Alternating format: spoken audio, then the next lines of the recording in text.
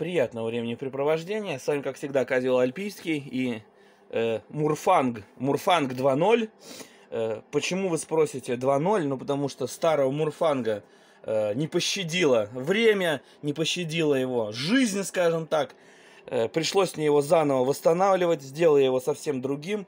Э, давайте рассмотрим его морду. Э, этому Мурфангу я сделал морду практически как у медведя. Посмотрите на нос. Если у старого Мурфанга была крысиная морда, сделал я бивни поменьше немножечко. Э, да, чуть-чуть. Сделал уши побольше. Лапы передние и вот эта вот задняя лапа были нормальные. Я их только восстановил. Вот эту, видите, она более такая детальная. Вот эту лапу слепил заново.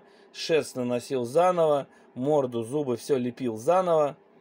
То есть вот он Мурфанг. Это к вопросу о том, почему нету кавалерии огров. Э, скоро на канале появятся огры, э, покрашенные э,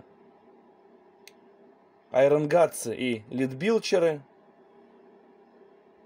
А теперь я вот только-только дошел до того, чтобы Мурфанга этого заформовать и отлить.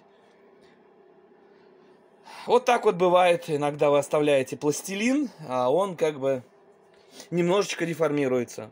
А пока с вами был Козел Альпийский. До новых встреч. Всем пока.